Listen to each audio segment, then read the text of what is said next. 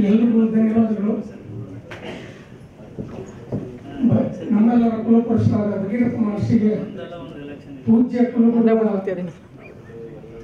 ದಿವ್ಯ ಹಸ್ತಗಳಿಂದ ಮತ್ತು ಸಮಾಜದ ಗಣ್ಯರ ಹಸ್ತಗಳಿಂದ ಸ್ವಾಮಿಗೆ ಪುಷ್ಪಾರ್ಚನೆ ಆಯಿತು. ಈಗ ಉದ್ಘಾಟನಾ ಸಾರಿ ಪ್ರಾಸ್ತಾವಿಕ ನುಡಿಯನ್ನ ನಮ್ಮ ಜಗನ್ನಾಥ್ ಸಾಗರ್ ಸರ್ ಅವರು ಮಾಡ್ಕೊಡ್ಬೇಕು ಅಂತ. ಬನ್ನಿ ಸರ್. ಚಪ್ಪಾಳೆ ತಟ್ಟದ ಮೂಲಕ ಒಂದೊಂದು ಮಾತುಗಳು ಸಹ ಇವತ್ತು ಅರ್ಥಗರ್ಭಿತವಾಗಿರ್ತದೆ. ಸಮಾಜಕ್ಕೆ ಒಂದು ದಾರಿ ದೀಪವಾಗಿರ್ತದೆ ಅನ್ನೋದ್ರಲ್ಲಿ ಸಂಶಯ ಇಲ್ಲ. ಪ್ಲೀಸ್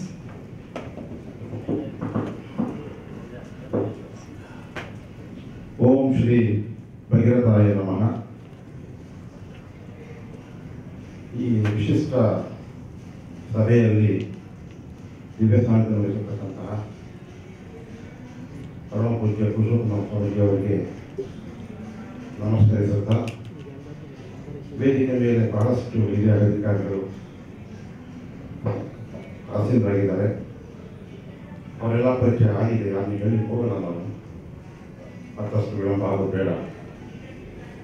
ಯಾಕೆ ಅಂತಂದ್ರೆ ಗಂಭೀರವಾದ ಚಿಂತನೆ ನಡೆಯಬೇಕಾಗಿದೆ ಅಂತಕ್ಕಂಥ ನನ್ನ ಉದ್ದೇಶ. ನಮ್ಮೆಲ್ಲರನ್ನು ನಮಸ್ಕರಿಸುತ್ತಾ ಬಂಧುಗಳೇ, ಕಳೆದ ಹದಿನೈದು ದಿನಗಳ ಹಿಂದೆ ಶಿವಶಂಕರ್ ಅವರು ನನಗೆ ಫೋನ್ ಮಾಡಿ ನಾನು ಇಲ್ಲಿ ಕೆಲವೇ ತಿಂಗಳಲ್ಲಿ ನಿವೃತ್ತಿ ಆಗ್ತಾ ಇದ್ದೇನೆ. ಎಲ್ಲ ಅಧಿಕಾರಿಗಳ ಸೇರಿ ಒಂದು ಸೌಹಾರ್ದವಾಗಿ ಭೇಟಿ ಮಾಡಿ ಮಾತಾಡೋಣ ಅಂತಕ್ಕಂಥ ಮಾತನ್ನು ಹೇಳೋದು. ನಾನು ಹೇಳಿದೆ, ಆ ಸಂದರ್ಭದಲ್ಲಿ ನಾನು ಬಜೆಟ್ ಕೆಲಸದಲ್ಲಿ ಬ್ಯುಸಿ ಆಗಿರ್ತೀನಿ. ಸ್ವಲ್ಪ ಕಾಲಾವಕಾಶ ಮಾಡ್ಕೊಂಡು ಬಂದು ಹೋಗ್ತೇನೆ ಅಂತ ಹೇಳಿದೆ. ಇಲ್ಲ ಇಲ್ಲ, ಏನಾದರೂ ಒಂದು ಗಂಭೀರವಾಗಿ ಚಿಂತನೆ ಮಾಡೋಣ ಹಾಗೆ. ಆಗ ನಾನು ಬಂದವರಿಗೆ ಹೇಳಿದೆ, ನಿಜವಾಗ್ಲೂ ಗಂಭೀರವಾಗಿ ಚಿಂತನೆ ಮಾಡೋದಾದರೆ ನಾವು ಏನಾದರೂ ಒಂದು ವಿದ್ಯಾರ್ಥಿಗಳಿಗೋಸ್ಕರ ಒಂದು ಶಾಶ್ವತವಾದ ನಿಧಿಯನ್ನು ಸ್ಥಾಪನೆ ಮಾಡೋದರಲ್ಲಿ ಪ್ರಯತ್ನ ಮಾಡೋಣ. ಹಾಗಿದ್ರೆ ನಾನು ಬರ್ತೀನಿ ಅಂತಕ್ಕಂಥ ಮಾತನ್ನ ಅವ್ರಿಗೆ ಹೇಳಿದೆ ಸಭೆಗೆ ಯಾರೆಲ್ಲ ಬರ್ತಾರೆ ಅಂತ ಕೇಳಿದಾಗ ರಾಜ್ಯದ ಮೂಲೆ ಮೂಲೆಗಳಿಂದ ಹಿರಿಯ ಅಧಿಕಾರಿಗಳೆಲ್ಲ ಬರ್ತಾರೆ ಹಾಗೆ ಅಂತಕ್ಕಂಥ ಮಾತನ್ನ ಹೇಳಿದ್ರು. ಆಗ ನಾನು ಹೇಳಿದೆ, ನಾವ್ಯಾರು ಬಡ ಉಪ್ಪನ್ನು ಸೇರ್ತಾ ಇಲ್ಲ.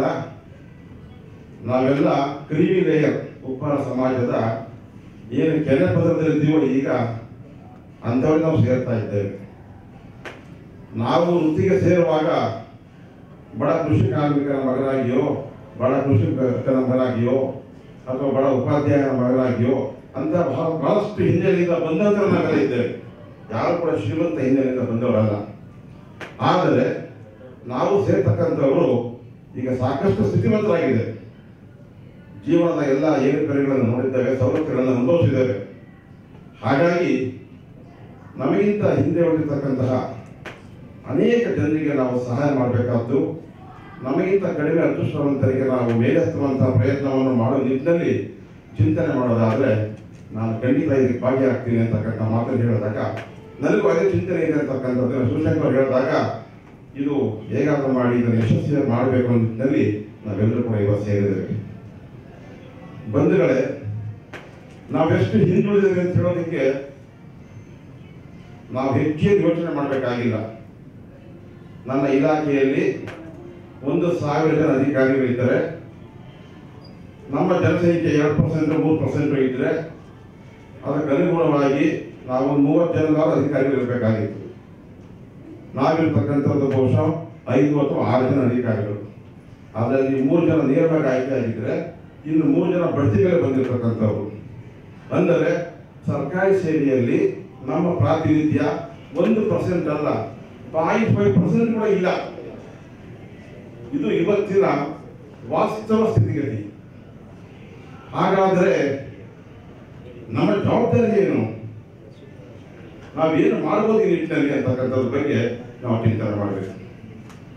ಇತ್ತೀಚೆಗೆ ತಾವೆಲ್ಲರೂ ಕೂಡ ಹಿಂದೆ ಪೇಪರ್ ನೋಡ್ತಾ ಇದ್ರಿ, ಕೊಪ್ಪಳದ ಒಬ್ಬ ವಿದ್ಯಾರ್ಥಿ ಒಬ್ಬ ಮಡಿಕೇರಿ ಮೆಡಿಕಲ್ ಕಾಲೇಜಿಗೆ ಆಯ್ಕೆ ಆಗಿರ್ತಾನೆ. ಆದರೆ ಅವನಿಗೆ ಅಡ್ಮಿಷನ್ ಆಗಲಿಕ್ಕೆ ಮೂರ್ನಾಲ್ಕು ದಿನ ಟೈಮ್ ಇರುತ್ತೆ. ಅವನಿಗೆ ಅಡ್ಮಿಷನ್ ಆಗಲಿಕ್ಕೆ ಹಣ ಇಲ್ಲ. ಅವನು ಆಯ್ಕೆಯನ್ನು ಮಾರನೇ ದಿನವೇ ಕಾಂಕ್ರೀಟ್ ಕೆಲಸಕ್ಕೆ ಹೋಗ್ತಾನೆ. ಒಂದು ಕಟ್ಟಡ ಕೆಲಸ ನಿರ್ಮಾಣದಲ್ಲಿ ಅವನು ಕೂಲಿಯಾಗಿ ಕೆಲಸಕ್ಕೆ ಹೋಗ್ತಾನೆ. ಇದು ಎಲ್ಲೋ ಹತ್ತಾರು ಉದಾಹರಣೆಗಳಲ್ಲಿ ಕಂಡು ಬರ್ತಕ್ಕಂಥ ಒಂದು ಉದಾಹರಣೆ ನನಗೆ ಜೀವಂತ ಉದಾಹರಣೆ ಆಗಿತ್ತು ಅಂತಂದ್ರೆ, ನಾನೇ ಒಂದು ಹುಡುಗಿಯನ್ನು ನೋಡಿದೆ. ಆ ಹುಡುಗಿ ಶಿಲ್ಪ. ಇವತ್ತು ಮೈಸೂರು ಮೆಡಿಕಲ್ ಕಾಲೇಜಲ್ಲಿ ಅವರು ಎಂ ಎಸ್ ಜನರಲ್ ಸರ್ಜರಿ ಮಾಡ್ತಾ ಇದ್ದಾರೆ ಹತ್ತು ವರ್ಷದ ಹಿಂದೆ ನನ್ನ ಮನೆಗೆ ಬಂದಾಗ, ಅವರ ತಂದೆ ತಾಯಿ ಮತ್ತು ಮಗುವನ್ನು ನೋಡಿದಾಗ, ನಾನು ನಿಜವಾಗಿ ಕೂಡ ತಪ್ಪಾಗಿ ಭಾವಿಸ್ಬಿಟ್ಟಿದ್ದೆ. ಯಾರು ಭಿಕ್ಷುಕರು ಅಥವಾ ಅನಾಥರು ಬಂದಿದ್ದಾರೆ, ಬಹುಶಃ ಏನೋ ಸಹಾಯ ಆಗ್ಬೇಕೇನೋ ಹಳೆ ಬಟ್ಟೆ ಗಿಟ್ಟೆ ಕೇಳ್ಕೊಂಡು ಬಂದಿರ್ಬೋದು ಅಂತ ತಿಳ್ಕೊಂಡಿದ್ದೆ. ಆಮೇಲೆ ಏನಾದ್ರು ಸಹಾಯ ಬೇಕಾರಮ್ಮ ಅಂತ ಕೇಳಿದಾಗ, ಇಲ್ಲ, ನಿಮ್ಮನ್ನೇ ಭೇಟಿ ಆಗ್ಲಿಕ್ಕೆ ಬಂದಿದ್ದೀವಿ. ನನ್ನನ್ನು ಭೇಟಿ ಆಗ್ಲಿಕ್ಕೆ ಬಂದಿದ್ದೀರಾ? ಅವ್ರು ನೋಡಿದ ತೀರಾ ಅಪರಿಚಿತರು ಮತ್ತು ಬಹಳ ಅವರನ್ನು ನಾವು ಅತ್ಯಂತ ದಾರಿ ಹೋಗ್ಬಿಡ್ತಾರೆ ಕಾಣ್ತಾ ಇದ್ರು.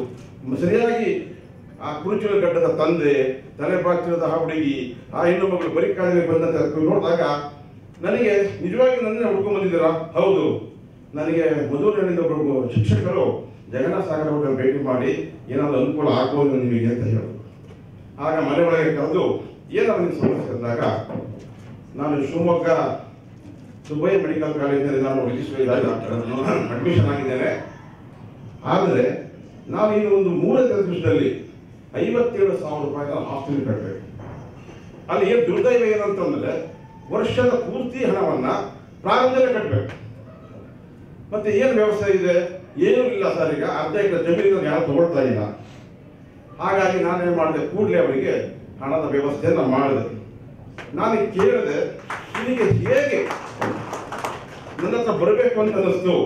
ನೀವು ಹೇಗೆ ಸಾಧನೆಯನ್ನು ಮಾಡಿದೆ ಅಂತ ಕೇಳಿದಾಗ ಹುಡುಗಿ ಒಂದೇ ಒಂದು ಮಾತು ಹೇಳಿದ್ರು ಸರ್, ಮೂರ್ನಾಲ್ಕು ವರ್ಷಗಳ ಹಿಂದೆ ನಾನು ಮನೆಯಲ್ಲಿ ಬೋರ್ವೆಲ್ ಪಾದ ತೆಗೆದುಕೊಂಡು ಕೂತಿದ್ದೆ. ಆಗಿನ್ನು ಒಂಬತ್ತನೇ ಕ್ಲಾಸ್ ಓದ್ತಾ ಇದ್ದೆ. ಆ ಸಂದರ್ಭದಲ್ಲಿ ಮೈಸೂರಿನಲ್ಲಿ ಪ್ರತಿಭಾ ಪುರಸ್ಕಾರ ಆಗುತ್ತೆ ಅಂತ ಹೇಳಿ ಒಂದು ಟೆಂಪೋ ವೆಹಿಕಲ್ ಮಾಡಿಕೊಂಡು ಒಂದು ಇಪ್ಪತ್ತು ಜನ ಹೋಗ್ತಾ ಇದ್ರು.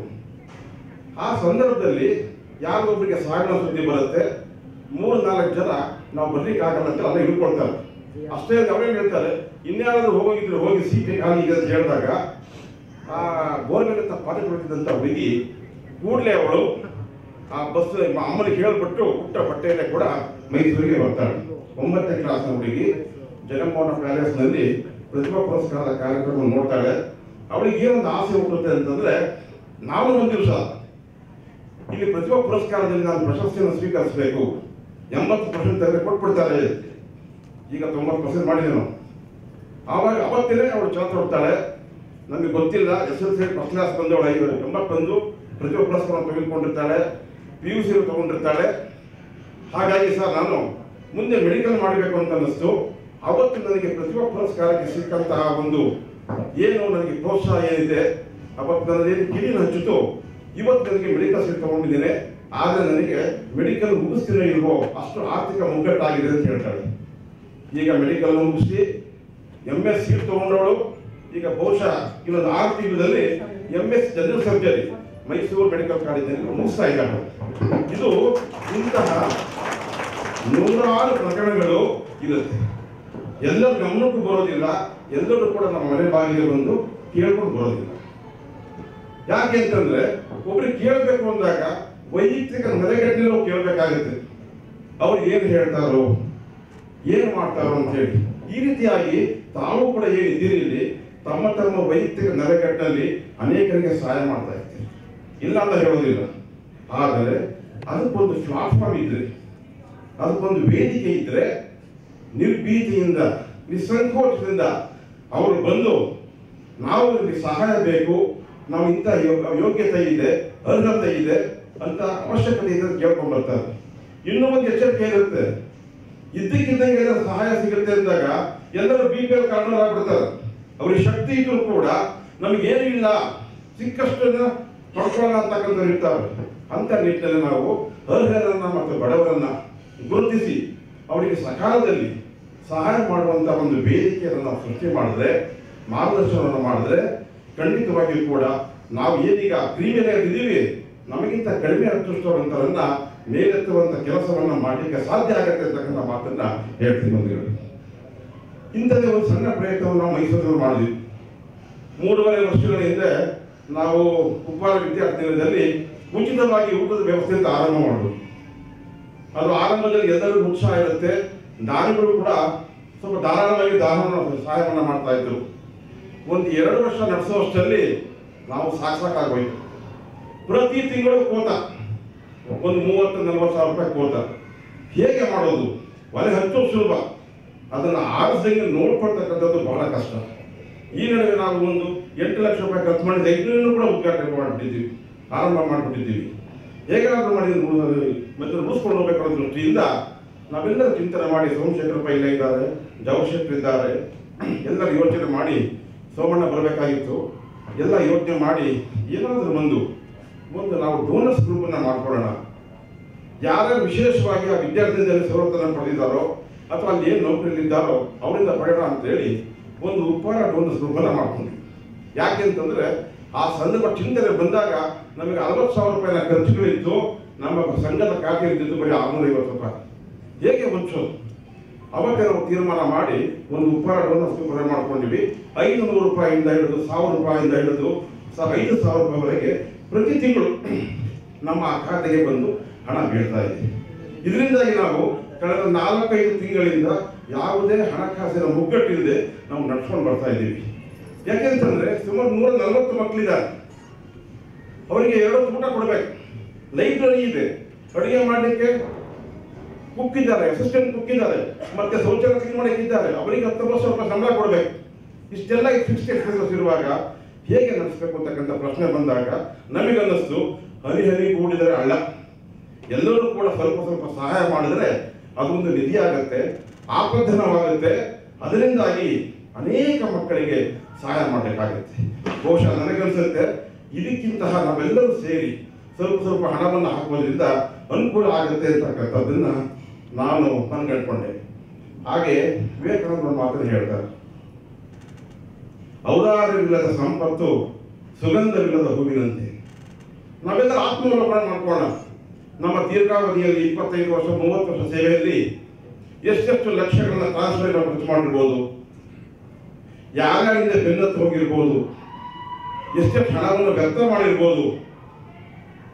ಅಂತವರೆಲ್ಲರೂ ಯೋಚನೆ ಮಾಡಿ ಒಬ್ಬೊಬ್ಬ ವ್ಯಕ್ತಿ ಒಂದು ಲಕ್ಷ ಚಟ್ಟನ ಸರ್ ನಾನು ಒಂದು ಲಕ್ಷದ ನಿರ್ದಿಷ್ಟವಾಗಿ ಹೇಳ್ತಾ ಇಲ್ಲ. ನನಗೆ ಒಂದು ಲಕ್ಷ ಕೊಡೋ ಶಕ್ತಿ ಇರ್ಬೋದು. ಇನ್ನೊಬ್ಬರಿಗೆ ಐವತ್ತು ಸಾವಿರ ಕೊಡೋ ಶಕ್ತಿ ಇರ್ಬೋದು. ಇನ್ನೊಬ್ಬರಿಗೆ ಇಪ್ಪತ್ತೈದು ಸಾವಿರ ಕೊಡೋ ಶಕ್ತಿ ಇರ್ಬೋದು. ಇನ್ನೊಬ್ಬರಿಗೆ ಐದು ಲಕ್ಷ ಶಕ್ತಿ ಇರ್ಬೋದು. ಸತ್ತಾನುಸಾರ ನಾವೆಲ್ಲರೂ ಕೂಡಿ ಹನಿ ಹನಿ ಕೂಡಿದರೆ ಹಳ್ಳ. ಕೆನೆದೆನೆ ಕೂಡಿದರೆ ಬಳ್ಳ, ಒಂದು ನಿಧಿ ಆಗುತ್ತೆ ಆಪನ್ ನಿಧಿ ಆಗುತ್ತೆ ತಮ್ಮ ಬಂಧುಗಳೇ, ನಾನು ಒಂದು ಮೂರು ವರ್ಷ ಬಿ ಕೆ ಮರಿಯಪ್ಪ ಹಾಸ್ಟೆಲಲ್ಲಿ ಚಾಮರಾಜಪೇಟೆಯಲ್ಲಿ ನಮ್ಮ ಕನ್ನಡ ಸಾಹಿತ್ಯ ಪರಿಷತ್ತಿನ ಒಂದು ಅಲ್ಲಿಂದ ಒಂದು ಐನೂರು ಅಡಿ ದೂರದಲ್ಲಿರ್ತಕ್ಕಂಥದ್ದು. ಆ ವಿದ್ಯಾರ್ಥಿನಿಂದಲೇ ಮೂರು ವರ್ಷಗಳ ಕಾಲ ನಾನು ಉಚಿತವಾಗಿ ಅನ್ನ ಮತ್ತು ಆಶ್ರಯವನ್ನು ಪಡೆದೆ. ಅಲ್ಲಿರ್ತಕ್ಕಂಥ ವಿದ್ಯಾರ್ಥಿಗಳು, ಮುಂದೆ ದೊಡ್ಡವರಾದ ಮೇಲೆ ವಿದ್ಯಾರ್ಥಿನಿಯರಿಗೋಸ್ಕರ ಒಂದು ವಿದ್ಯಾರ್ಥಿ ದಿನವನ್ನು ಪ್ರಾರಂಭ ಮಾಡಿದ್ವಿ. ವಯೋವೃದ್ಧರಿಗೆ ಓಲ್ಡ್ ಏಜ್ ಭವನವನ್ನು ಕಟ್ಟಿದ್ವಿ. ಇದೆಲ್ಲ ಮಾಡಿದ್ಯಾರು ಆ ಆ ವಿದ್ಯಾರ್ಥಿನಿಲಯದಲ್ಲಿ ಒಂದು ಕಾಲದಲ್ಲಿ ತುತ್ತು ಅನ್ನಕ್ಕಾಗಿ ಒಂದಿಷ್ಟು ಜಾಗಕ್ಕೋಸ್ಕರ ಇದ್ದಂಥ ವಿದ್ಯಾರ್ಥಿಗಳೇ.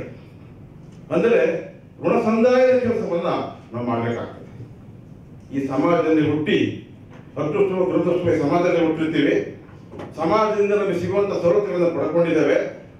ಸಮಾಜದಲ್ಲಿ ಈಗ ನಾವುಗಳು ಇಂತಹ ಈಗ ಶ್ರೀಯುತ ಅಶೋಕ್ ವೆಂಕಟ್ರವರು ಐ ಪಿ ಎಸ್ ಅಧಿಕಾರಿಗಳು, ಆಂಧ್ರ ಮೂಲದವರು, ಅತ್ಯಂತ ಸಜ್ಜನವುಳ್ಳಂತ ವ್ಯಕ್ತಿ ಅವ್ರನ್ನ ನಾನು ಭೇಟಿ ಮಾಡಿದ್ದೆ. ಅವರು ಕೂಡ ಬಂದಿದ್ದಾರೆ. ಅವರು ಕೂಡ ನಾನು ಈ ಕಾರ್ಯಕ್ರಮದ ಪರವಾಗಿ ಹೃತ್ಪೂರ್ವಕವಾಗಿ ಸ್ವಾಗತವನ್ನ ಕೋರ್ತಾ ಇದ್ದೇನೆ. ಬಂಧುಗಳೇ ಹಾ? ಮೇಲ್ಗಡೆ ಕೂರಿಸ್ಬಿಡಿ. ದಯವಿಟ್ಟು ಕೂರ್ಸಿ. Please come, please come. Please, please, please come. ಬಂಧುಗಳೇ ಇಂತಹ ಒಂದು ಯಾರು ಯಾವ ಸಂದರ್ಭದಲ್ಲಾದರೂ ಕೂಡ ಸಹಾಯಕ್ಕಾಗಿ ಅರ್ಹ ವಿದ್ಯಾರ್ಥಿಗಳು ಅರ್ಹ ವಿದ್ಯಾರ್ಥಿಗಳು ಸಹಾಯಕ್ಕಾಗಿ ಅಪೇಕ್ಷಿಸಿದಾಗ ಅವನ್ನು ಸಂಪರ್ಕಿಸಬಹುದಂತ ಒಂದು ವೇದಿಕೆಯನ್ನ ನಾನು ಹೇಳಿದೆ ಶಿವಶಂಕರ್ ಅವರೇ ಏನಾದರೂ ಮಾಡಿ ನಿಮ್ಮ ವೃತ್ತಿ ಜೀವನದ ನೀವು, ಇಂತಹ ಒಂದು ಪ್ಲಾಟ್ಫಾರ್ಮ್ ಅನ್ನ, ವೇದಿಕೆಯನ್ನ call call whatever name you call, ಅವರನ್ನ ಎಲ್ಲ ವಿಶೇಷವಾಗಿ ನೌಕರ ವರ್ಗದವರನ್ನ ಮತ್ತು ದಾನಿಗಳನ್ನ ಸೇರಿಸ್ಕೊಂಡು ಒಂದು ಟ್ರಸ್ಟ್ ಅನ್ನಾದ್ರೂ ಮಾಡೋಣ ಯಾಕೆಂತಂದ್ರೆ ಒಂದು ಉಪ್ಪಾರ ಡೋನರ್ಸ್ ಫಂಡ್ ಅಂತಕ್ಕಂಥದ್ದು ಇವತ್ತು ಸುಲಲಿತವಾಗಿ ನಾವು ನೂರ ಮೂವತ್ತು ಮಕ್ಕಳಿಗೆ ಊಟದ ವ್ಯವಸ್ಥೆಯನ್ನು ಮಾಡಲಿಕ್ಕೆ ಸಹಾಯ ಮಾಡೋದಾದ್ರೆ ನೀವು ರಾಜ್ಯದಾದ್ಯಂತ ಅಧಿಕಾರಿಗಳನ್ನ ಕರಿತಾ ಇದ್ದೀರಿ. ಅವರೆಲ್ಲರೂ ಕೂಡ ಮನಸ್ಸು ಮಾಡಿದ್ರೆ ಇಷ್ಟು ಹಣ ಕೊಡಲಿಕ್ಕೆ ಕಷ್ಟ ಆಗೋದಿಲ್ಲ. ಐವತ್ತು ಲಕ್ಷ, ಒಂದು ಕೋಟಿಯ ಒಂದು ಟ್ರಾನ್ಸ್ಫರ್ ಫಂಡ್ ಅನ್ನು ಮಾಡೋಣ. ಇಂಥ ಪ್ರಯತ್ನ, ಇಂಥ ಆಲೋಚನೆ ಬಹಳ ಇದ್ದರೂ ಕೂಡ ಪ್ರಯತ್ನ ಮಾಡ್ಲಿಕ್ಕೆ ಆಗಿರಲಿಲ್ಲ. ಒಂದು ಅದ್ಭುತವಾದ ವೇದಿಕೆ ನೀವು ಕಲಿಸ್ಕೊಡ್ತಾ ಇದ್ದೀರಿ ಅಂತ ಹೇಳಿ ನಾನು ಅವ್ರಿಗೆ ಅಂದ್ಕೊಂಡಾಗ, ಇಲ್ಲ, ನನಗೂ ಅದೇ ಆಲೋಚನೆ ಇದೆ ಅಂತಕ್ಕಂಥ ಮಾತನ್ನ ಹೇಳಿದ್ರು. ಬಂಧುಗಳೇ, ಅನೇಕ ಪ್ರತಿಭಾವಂತ ವಿದ್ಯಾರ್ಥಿಗಳು ಈ ರೀತಿಯಾದಂತಹ ಅವಕಾಶ ಇಲ್ಲದೆ ಕೇಳೋದಕ್ಕೆ ಯಾವುದೇ ಅವಕಾಶ ಸಿಗದೇನೆ ಅನೇಕ ಅತ್ಯುತ್ತಮವಾದ ಅವಕಾಶಗಳನ್ನು ಕಳ್ಕೊಂಡಿದ್ದಾರೆ ಅಂತಕ್ಕಂಥದ್ದು ನಿಜವಾಗಿಯೂ ಸತ್ಯ. ಯಾಕೆ ಅಂತಂದ್ರೆ ನಾನು ಕಳೆದ ಹತ್ತು ಹತ್ತಾರು ವರ್ಷಗಳಿಂದ ವಿದ್ಯಾರ್ಥಿಗಳ ಒಡನಾಟದಲ್ಲಿ ನಿಂತೇನೆ ನನ್ನ ಹೆಂಡತಿ ಮಕ್ಕಳು ನನಗೆ ಮೊದಲನೇ ಕುಟುಂಬ ಆದರೆ ಮೈಸೂರು ಉಪಹಾರ ವಿದ್ಯಾರ್ಥಿ ಎರಡನೇ ಕುಟುಂಬ. ಹಾಗಾಗಿ ಎಲ್ಲರೂ ಏನೇನು ನಡೀತಾ ಇರುತ್ತೆ, ಅವರ ಅವರಿರ್ತಕ್ಕಂಥ ಸಮಸ್ಯೆಗಳೇನು? ನಿನ್ನೆ ಒಬ್ಬ ಕಡೂರಿನ ಒಬ್ಬ ಹುಡುಗ, ಅವನು ಇಮೇಜಿಂಗ್ ಕೋರ್ಸಲ್ಲಿ ಮೈಸೂರು ಮೆಡಿಕಲ್ ಕಾಲೇಜಲ್ಲಿ ಪಾಸ್ ಮಾಡ್ಕೊಳ್ತಾ ಇದ್ದಾನೆ. ತಂದೆ ಇಲ್ಲ, ತಾಯಿ ಕೂಲಿ ಮಾಡ್ತಾರೆ. ಅವನು ಹದಿನಾರು ಜನ ಮಾತ್ರ ಪಾಸ್ ಆಗಿದ್ದಾರೆ. ಥರ್ಡ್ ಸೆಮಿಸ್ಟರ್ ಅಲ್ಲಿ ಅವನು ಒಬ್ಬ ಪಾಸ್ ಆಗಿರ್ತಾರೆ ಹದಿನಾಲ್ಕು ಜನ ಅವನೊಬ್ಬ ಪಾಸ್ ಆಗಿದ್ದಾರೆ ಸುಮಾರು ಐವತ್ತು ಜನ ಫೇಲ್ ಆಗಿದ್ದಾರೆ. ಅವನಿಗೆ ನಾವು ನಿರಂತರವಾಗಿ ಸಪೋರ್ಟ್ ಮಾಡ್ತಾ ಬಂದಿದ್ದೀವಿ. ಹೇಳ್ತಾ ಹೋದ ಈ ಥರ ಬೇಕಾದಷ್ಟುಗಳಿದೆ ಬಂಧುಗಳೇ ಯಾವತ್ತೂ ಕೂಡ ಕೊಡ್ತಕ್ಕಂಥವರಿಗೆ ಬಡತನ ಇರೋದೇ ಇಲ್ಲ. ಬೇಕು ಬೇಕು ಅನ್ನೋರಿಗಷ್ಟೇ ಬಡತನ. ನಾವು ಕೊಟ್ಟು ಕೊಟ್ಟು ಸ್ವಲ್ಪ ಸಹಾಯವನ್ನ ಪಡಿತಾ ಮಾಡ್ತಕ್ಕಂಥ ಮಂದಿಗಳು. ಅದೇನು ಗೊತ್ತಿಲ್ಲ. ನಮ್ಮ ತಂದೆಯವರು ಅವರು ಬಹುಶಃ ವೃತ್ತಿಯಿಂದ ಅವರು ಅವರು ಪ್ರಾಥಮಿಕ ಶಿಕ್ಷಕರಾದರೂ ಕೂಡ ಅವ್ರು ಹೇಳಿದ್ರು ಫಸ್ಟ್ ನಮ್ಮಲ್ಲಿ ಕತ್ತಿಗುತ್ತೆ ಒಂದು ಆಸ್ತಿ ಕಟ್ಟೋಣ ಅಂತ ಹೇಳಿ ಐವತ್ತು ಸಾವಿರ ರೂಪಾಯಿ ಹಣವನ್ನ ದಾನ ಮಾಡೋದು ಆಮೇಲೆ ಈ ಸಭಾಭವನಕ್ಕೆ ನಾನು ಸುಮಾರು ಎರಡು ಲಕ್ಷ ರೂಪಾಯಿ ಹಣವನ್ನ ಕೊಟ್ಟೆ. ಶಿವಮೊಗ್ಗದಲ್ಲಿ ಐವತ್ತು ಸಾವಿರ. ಲಕ್ಕಪ್ಪನವ್ರು ಹೇಳ್ತಾ ಇದ್ರು ಅಲ್ಲಿ ಐವತ್ತು ಸಾವಿರ. ದಾವಣಗೆರೆಗೆ ಒಂದು ಲಕ್ಷ. ಹಾಸನಕ್ಕೆ ಒಂದು ಲಕ್ಷ.